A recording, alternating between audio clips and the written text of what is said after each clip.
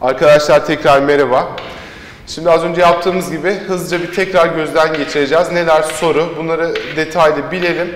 Gelecek haftada sorularımızı çözeceğiz. Tüm sorularımızla beraber reproduktif endokrinolojiyi tekrar edip bitireceğiz. Bugünkü bu son dersimiz ama gelecek hafta tüm jinekolojiye tekrar değineceğiz. Ki soru kaçırmayalım.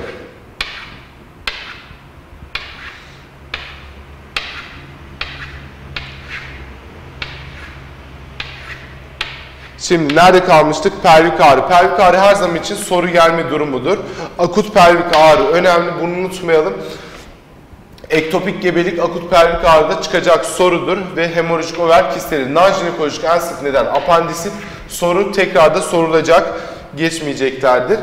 Gebelikte de abortus onu da bilelim. Siklik ağrıda özellikle neyi bileceğiz? Endome, e, primer dismenori ve sekonder dismenori ayrımını bileceğiz arkadaşlar. Primer dismenori unutmayalım prostaglandin F2 sorudur. Aynı zamanda ovulatuar sikluslar sorudur. Sekonder dismenoride de endometriozis sorudur arkadaşlar. Unutmayalım. Kronik pelvik ağrı tanımı için 6 ay bilelim. En sık non-jinekolojik neden nedir? Irritable bağırsak sendromudur. O da soru arkadaşlar. Premenstrüel sendroma bakarsak serotonin aktivitesi burada önemli. Serotoninerjik aktivite düşmüştür. Soru olarak gelecektir. Bu da pelvik enfeksiyonlara bakarsak normal vajen florasında ne yer alır diye sordular. Yine soracaklar laktobasiller. pH'i asidiktir vajenin soruldu. Tekrar sorulacak. Vajen epiteli hormon bağımlıdır. Kendisinin salgı bezleri yoktur ve Bartolin bezinin salgıları e, vajinal sekresyonlarda yer alır. Soruldu, sorulacak. Aynı zamanda vajendeki hücre hakimiyeti yine soruldu, yine sorulacak. Östrojen durumunda süperfisiyel hücreler, progesteronda durumunda hakimiyetinde luteal fazla intermediyer hücreler ve postmenopozal dönemde de özellikle parabazal hücreler hakimdir. Vajinal enfeksiyonlara bakarsak arttıran durumlar soru olarak geldi. Genel olarak immün sistemi süpres eden durumlar enfeksiyon riskini artırır. Unutmayalım lütfen. Özellikle burada e, gebeliği unutmayalım, antibiyotik kullanımını unutmayalım, kombinoral kontraseptif kullanımını unutmayalım. Bakteriyel vajinoziste soruldu, çok soruldu. En sık olması soruldu.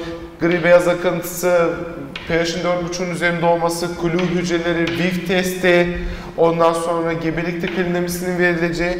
Arkadaşlar tekrar da sorulacak. Lökosit bulunmaz unutmayalım ve vajinal enfeksiyonları çok iyi bilelim lütfen. Klinik olarak neyle beraber sorabilirler? Söyledik. Post histerektomi vajen kaf infeksiyonu, ateş, pelvik ağrı ile gelen bir hasta kötü kokulu akıntı ve erken membran rüptürü unutmayalım lütfen. Trikomonas vajinitis soruldu, sorulacak yine. Çilek görüntüsü soruldu. Trofozoitler soruldu. pH'in arttığı, VIF testinin olabileceği çünkü beraberinde bakteriyel vajinosuna eşlik edebileceği soruldu. Kandiyazis yine önemli. Her biri teker teker soruldu arkadaşlar. En sık albikans olduğu, vulvovajinitin en sık nedeni olduğu soruldu. Riskini artıran durumlar soruldu. Kombinoral kontraseptif kullanımı, antibiyotik kullanımı, gebelik, diyabet, hepsi teker teker sokuldu. Dirençliler nelerdir? Tropikalis ve glabrata soruldu arkadaşlar. Bunları hepsini ezberleyelim lütfen. Süt, süt kesi akıntısını hiç unutmayacağız. İnflamatuar vajinitis streptokok sorulacaktır. Tedavide vajinal klindamisin krem bilelim, vajinal pH'ını bilelim, vajinal pH'ının artmış olduğu durumları bilelim. Atrofik vajinit, postmenopozal e, vajinal kanamanın en sık nedeni soruldu. Parabazal hücreler soruldu. E, lütfen bilelim neyle karışır? E, post ayrıcı neyin ayrıcı tanısında yer alır? Atrofik vajinit, endometrium kanserinin ayrıcı tanısında yer alır. Servisti bilelim lütfen. Yine e, serviste endoservix ve ektoservix'in e, epitelleri farkları. Endoservix'te glandüler epitel varken ektoservix'te squamous epitel vardır. HPV squamous epiteli HPV etkilemesi sonrasında da squamous ve glandüler epitelde karsinom gelişimini unutmayalım lütfen.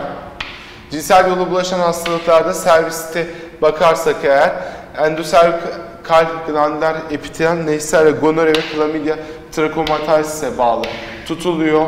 Unutmayalım bir PID etkenleri bunlar.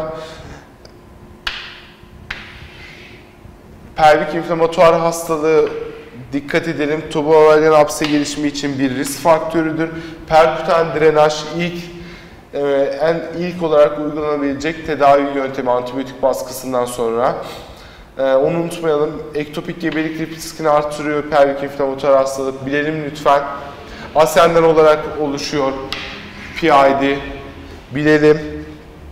Genital tüberkülozun pelvik ağrı ve infertilite riskini çok arttırdığı, en sık arttıran, en yüksek derecede arttıran durum olduğunu bilelim. Fistül kurtis soru olarak çıktı arkadaşlar. Çıkmış soruları değerlendiriyoruz şimdi tekrar aynı zamanda. Onu da bilelim. En sık klamidi enfeksiyonuna bağlı olarak gelişiyor. Perihepatit tablosu. Te Tedavide de PID'de safety reaksiyon ve doksiklin kullanabiliriz. Toksik şok sendromu soruldu. Staph bağlı olarak geliştiği soruldu. Ateş, hipotansiyon ve septik tablo. Nasıl sorulacaktır söyleyeyim arkadaşlar. Doğum yapmış bir bayan ee, akıntısı nedeniyle vajinal tampon kullanıyor ve bir hafta sonra hasta ateş ve tansiyon 6'ya 4 şeklinde acil servise kaldırılıyor. Hastanın kötü kokulu vajinal akıntısı olduğu gözleniyor. Muayenede tampon görülüyor. Toksik şok sendromu arkadaşlar.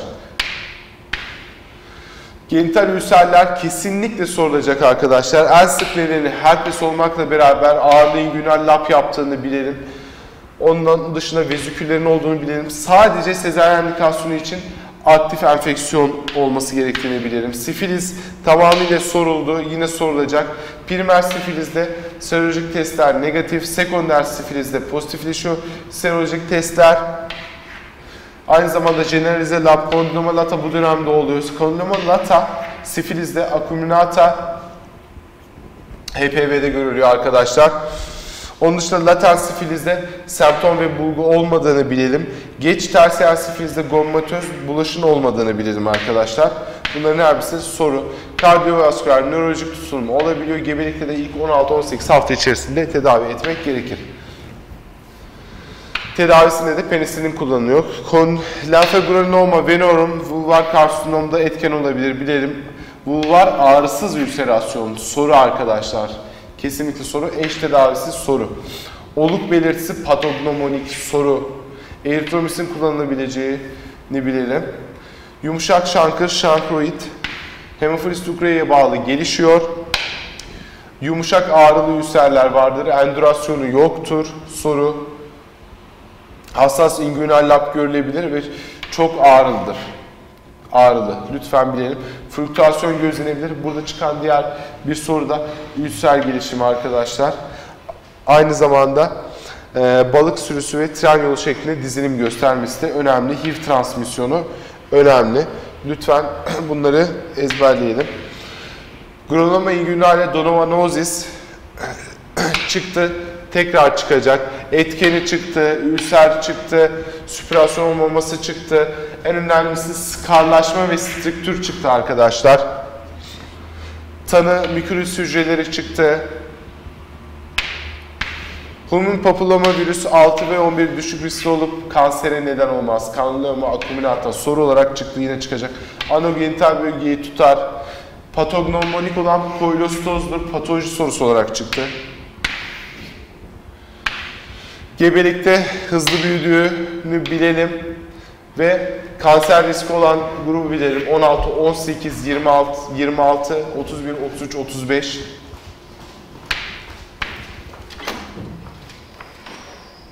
Triklorik asiti bilelim, gebelikte uygulayabiliyoruz.